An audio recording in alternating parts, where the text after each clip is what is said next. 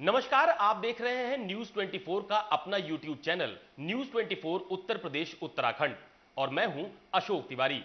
आने वाले इस खास बुलेटिन में हम आपको उत्तर प्रदेश की पाँच बड़ी खबरों से रूबरू कराएँगे। यूपी में कोरोना किट खरीद घोटाले के मामले में कांग्रेस ने किया जोरदार प्रदर्शन।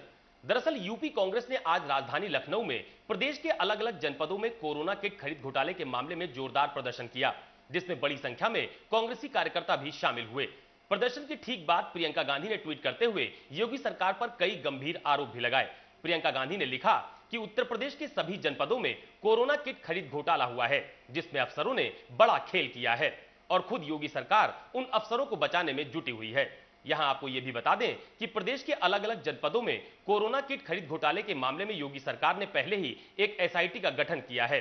उस एसआईटी ने इस पूरे मामले की जाँच पड़ताल भी शुरू कर दी है। जानकारी के मुताबिक, आने वाले 10 दिनों में यह एसआईटी अपनी पूरी रिपोर्ट खुद मुख्यमंत्री योगी आदित्यनाथ को सौंपेगी। बीएसपी प्रमुख मायावती ने योगी सरकार को दी नसीहत, कहा, बच्चों की स्कूलों की फ़ीस माफ़ करे सरकार। दरअसल, बसपा प्रमुख मायावती ने उत्तर प्रदेश में अभिभावकों की खराब स्थिति का हवाला देते हुए यूपी की योगी सरकार से यह मांग की है कि वो उत्तर प्रदेश में सभी बच्चों की स्कूलों की फ़ीस माफ़ करें।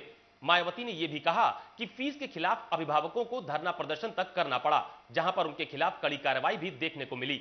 मायावती ने यह भी कहा कि सरकारें अपने शाही खर्चों में कटौती करके बच्चों की स्कूल की फ़ीस माफ़ कर सकती हैं, जिससे जनता को बड़ी राहत दी जा सके। उत्तर प्रदेश में जारी है माफिया अतीक अहमद और मुख्तार अंसारी के खिलाफ योगी सरकार की कड़ी कार्रवाई। दरअसल माफिया मुख्तार अंसारी की पत्नी और उनके साले के खिलाफ आज योगी सरकार की तरफ़ से जनपद गाजीपुर में गैंगस्टर एक्ट के तहत मुकदमा दर्ज किया गया है। गृह विभाग की तरफ़ से दी गई जानकारी के मुताबिक मुख्तार अंसारी की पत्नी और उनके साले संगठित गिरोह के रूप में अपराध करते आ रहे हैं और इसी के क्रम में सरकारी जमीनों पर कब्जे और सरकारी ठेकों को हासिल करने के लिए इस्तेमाल किए गए फर्जी दस्तावेजों को आधार बनाते हुए उनके खिलाफ गैंगस्टर एक्ट के तहत मुकदमा दर्ज किया गया है। जिन लोगों पर यह मुकदमा दर्ज किया गया है, उसमें मुख्तार अंसारी की पत्नी आफसा अंसारी, सरजील और अनवर शामिल हैं। यहाँ आपको यह भी बता दें कि यूपी की योगी सरकार की तरफ़ से माफिया अतीक अहमद और मुख्तार अंसारी के कई अवैध निर्माण को पहले ही सरकार की तरफ़ से ध्वस्त किया जा चुका है। उत्तर प्रदेश में जारी है योगी सरकार की ऑपरेशन ब्यूरोक्रेसी। फिर किए गए 15 आईएएस अफसरों के तबादले। दरअसल उत्तर प्रदेश के मुख्यमंत्री इन दिनों उत्तर प्रदेश में किए जा रहे विकास कार्यों की लगातार समीक्षा बैठक कर रहे हैं।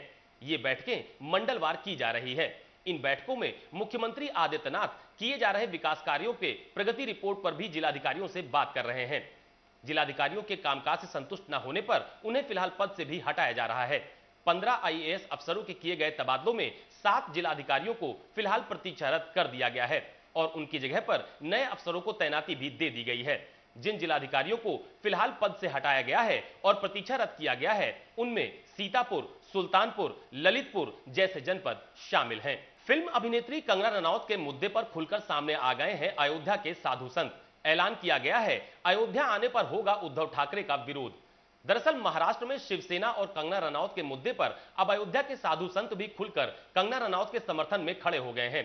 अयोध्या के साधु संतों ने ऐलान किया है कि जिस तरह की कार्रवाई महाराष्ट्र में कंगना रनौत के खिलाफ की गई है, वो पूरी तरह से अनुचित है। और ये शिवसेना अब बाला साहब ठाकरे की शिवसेना नहीं रही है। साधु संतों ने इस बात का भी ऐलान किया है कि जब भी शिवसेना प्रमुख उद्धव ठाकरे अयोध्या आएँगे तो वहाँ पर उनका विरोध किया जाएगा। विश्व हिंदू परिषद ने भी संतों को इस बात पर समर्थन दिया है।